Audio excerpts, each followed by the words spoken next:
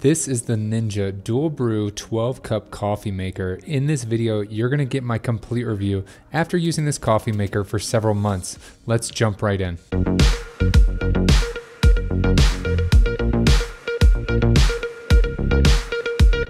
Bought this coffee maker and it, not for a review or anything like that, but I saw that it dropped in price recently. Now only 129 bucks. I really think that this is a great value in terms of coffee maker, so that's why I wanted to do this video. Now probably my favorite feature is the reservoir. So the removable reservoir where you put the water in is fantastic. I love that you can just pull that out easily and go walk over to the sink or wherever you're going to fill it up. If you want to use purified or filtered water, you can easily do that using this and then it simply clicks right back in. No spills, no mess. Really nice to see and very easy to use as well. Now, the carafe is, I think, pretty good. There are some design elements that I wish were a little bit different, which I will get into in this video. But overall, I mean, it's a very solid coffee maker. I mean, it is you know, it makes coffee. You can also do a single cup and you can see that little flip down part in the front here of the coffee maker, which is nice because you can, you know, just brew a single cup of coffee if it's, you know, early afternoon and you want to have just a single cup. So it is kind of grippy there so the cup doesn't slide off. Nice attention to detail on the top of this single cup brewer.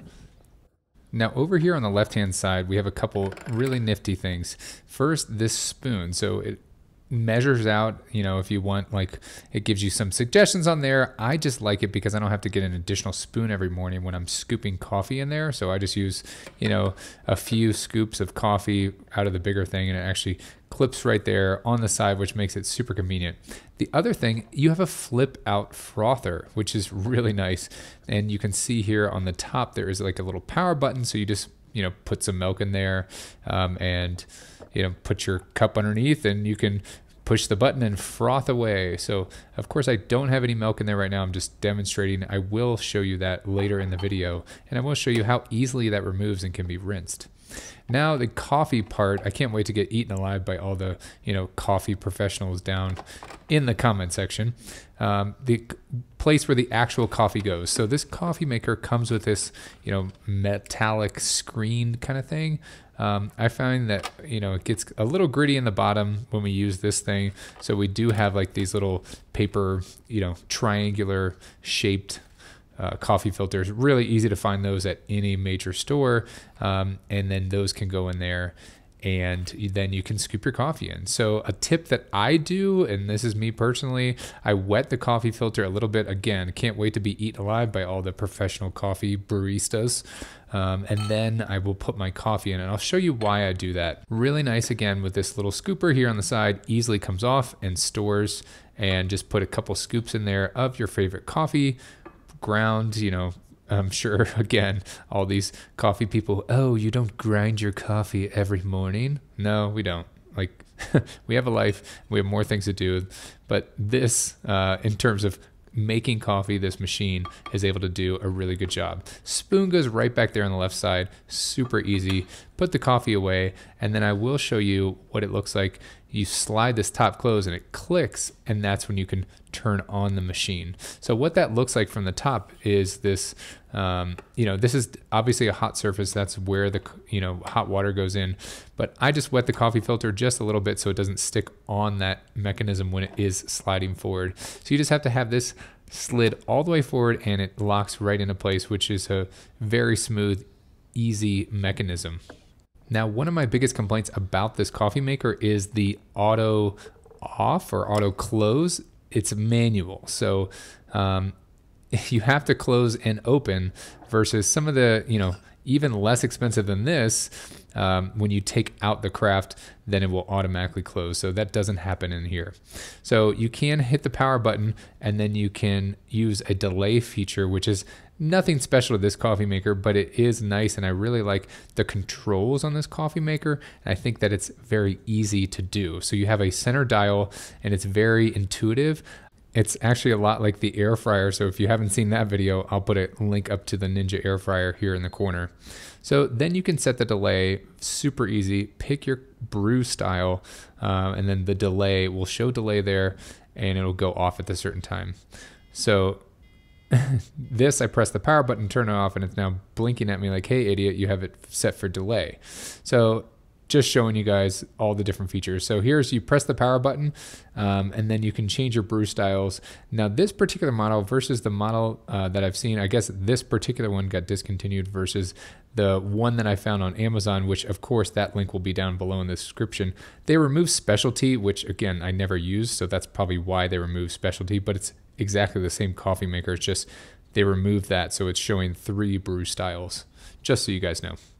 Now, if I put this back, I'm going to turn it off because I did press the clean button, which is nice. We put some white vinegar through here just to make sure that it is clean. Um, and so I can select the brew style. We like rich. Um, it's definitely a heartier taste.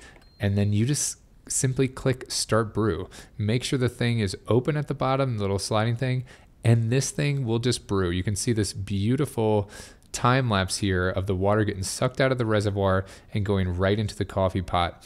And the hot plate on here, I would say, keeps it really hot.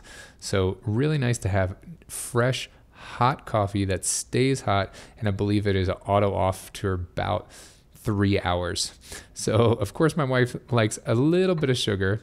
So now I'm able to make her coffee. Not too much sugar, just a little bit. So I'll show you. She just requires a little bit of sugar. Me, I am black coffee all the way. So I wanted to make her some coffee so I could show you guys. Of course, she needs some milk too with her sugar, but it gives a great way for us to show off this frother. So on the side here, you hold one hand with a cup, other hand um, at the top powering the thing and you just for me move it around. Again i'm going to get eaten alive because i am not this fancy barista who is like super fancy with coffee. I just know that this coffee maker i really like it and it works for me. And so if you're like most people and are aren't psycho about coffee then this is also going to work for you. So can't wait for those awesome comments from all the people who are way better at coffee i'm doing air quotes right now than me um, in the comments section because of all the things I'm doing wrong here. So after you're done frothing, um, you will see like there is milk on there, right? It takes like maybe 15 to 30 seconds. And what's really nice is you can just twist it off. I tap it on the cup here, but then I just go over to the sink really quick and I can just rinse this thing out. So it makes it super fast and easy in terms of like clean up. So even if you want you know you're feeling fancy and you want froth milk in your coffee this morning then you can just rinse it out and for me you know like maybe i'll throw it in the dishwasher once a week but most days i just put it right back on there lock it on and it goes flat again really nice and you can see the beautiful froth that it did create mixed in that sugar right with that milk oh i did get a drip down the side so we'll just wipe that real quick and it did a fantastic job. Now, all that's left is to pour in your super hot coffee because it's been warming on the plate. So, excellent coffee. Again, I really like the rich setting of this coffee. Just so you guys know, um, if you're interested in purchasing one of these, again, it just dropped in price. I think we paid 200 bucks for this thing, and now it is only $129. So if you want to purchase one of these, support the channel. It's not going to cost you any extra, and use the Amazon affiliate link down below in the description. I hope you guys liked this video. If you did, please give it a thumbs up. Thanks so much for watching. Share this video with a friend and don't forget to hit that subscribe button. As always, see you in the next one.